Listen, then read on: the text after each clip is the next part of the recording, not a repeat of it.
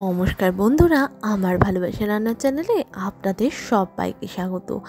আজকে আমি যে রেসিপিটা নিয়ে এসেছি এটা একদমই সহজ সরল একটি বাঙালি রেসিপি যেটা আপনি গরম ভাতের সাথে অনায়াসে তৈরি করে খেতে পারেন। বাঙালি মানেই একেবারে খাওয়া দাওয়ার রসনা তৃপ্তিতে অন্যরকম। যে কোনো উৎসবে বাঙালিদের খাওয়া দাওয়াটা না হলে ঠিক জমেই না।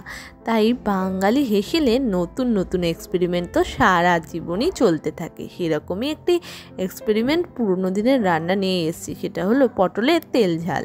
এর জন্য আমি এখানে চারটে মতো পটল নিয়ে নিয়েছি। পটলগুলোকে আমি কিন্তু ভালো করে খোসা ছাড়িয়ে নিচ্ছি। এবার একটা কড়াইতে সর্ষের তেল দিয়ে দিলাম। যেহেতু তেল ঝাল, তাই সর্ষের তেল না দিলে ঠিক এটা জমবে না। সর্ষের তেল গরম হয়ে গেলে ওর মধ্যে দিয়ে দিলাম কিছুটা পরিমাণে কালো জিরে। কালো জিরে ফোড়নটা সর্ষের তেলটা গরম হয়ে গেলে ওর মধ্যে কেটে রাখা পটলগুলো দিয়ে বেশ কিছুটা পরিমাণে নুন দিয়ে দিলাম। নুন ছাড়া পটলটা ঠিক ভাজাটা জমবে না আর পটলের মানে সেদ্ধ হওয়াটাও ঠিক হবে না। তাই নাড়িয়ে চাড়িয়ে কিছুক্ষণের জন্য এটাকে ঢাকা দিয়ে দিলাম।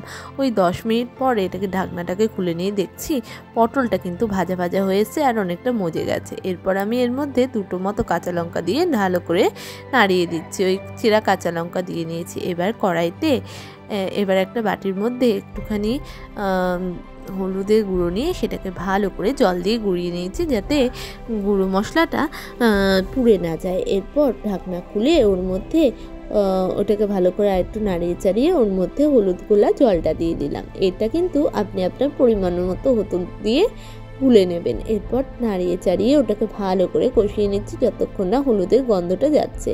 এটা যখন একটু কষে কষে উঠবে, তখন অল্প পরিমাণে একটুখানি জলের ছিটা মতো জল দিয়ে নেবেন। এরপর আবারও বেশ কিছুক্ষণ নাড়িয়ে চাড়িয়ে নেবেন। এরপর দিয়ে দেবো এর মধ্যে পরিমাণ মতো একটুখানি নুন। নুনটা কিন্তু পরিমাণ মতো দিতে হবে, আগে যেহেতু নুন একটু দেওয়া হয়েছে। এরপর দিয়ে দিচ্ছি এর মধ্যে পরিমাণ মতো চিনি। চিনি ছাড়া কোনো রান্নাই যেন অসম্মন অসম্পূর্ণ। এরপর নাড়িয়ে চাড়িয়ে এটাকে ভালো করে মিশিয়ে নিচ্ছি যাতে ফ্লেভারগুলো ঢুকে যায়। এরপর যখন এটা কষে কষে উঠবে, তখন পরিমাণ মতো আমি জল দিয়ে দিচ্ছি। এটাও কিন্তু আপনি আপনার পরিমাণ মতো দেবেন। আপনি চাইলে গরম জলও দিতে পারেন। এরপর এটাকে ভালো করে নাড়িয়ে চাড়িয়ে মিশিয়ে নিচ্ছি, যাতে জলের মধ্যে ফ্লেভারগুলো ঢুকে যায়। এটা যখন ফুটে ফুটে উঠবে, তখন এটার রোগানটাকে একটা বাটির মধ্যে ওই এক চামচ মতো মানে এক হাতা মতো তুলে নিয়ে ওর মধ্যে হাফ চামচ এরকম একটু ময়দা কিংবা কর্নফ্লাওয়ার গুলে নেবেন।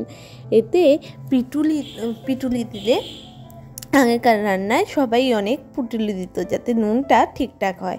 এরপর ওটাকে গুলে নিয়ে রান্না পটলের মধ্যে দিয়ে দিলাম। দিয়ে ভালো করে নাড়িয়ে চাড়িয়ে আর একটু মিশিয়ে নিচ্ছি যাতে এর মধ্যে সমস্তটা ঢুকে যায়।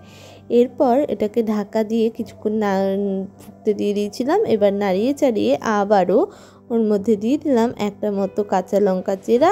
আর দিয়ে দিচ্ছি বেশ কিছুটা পরিমাণে সর্ষের তেল, যেহেতু এটা তেল ঝাল, তাই সর্ষের তেলের পরিমাণটা এখানে একটু বেশি থাকবে।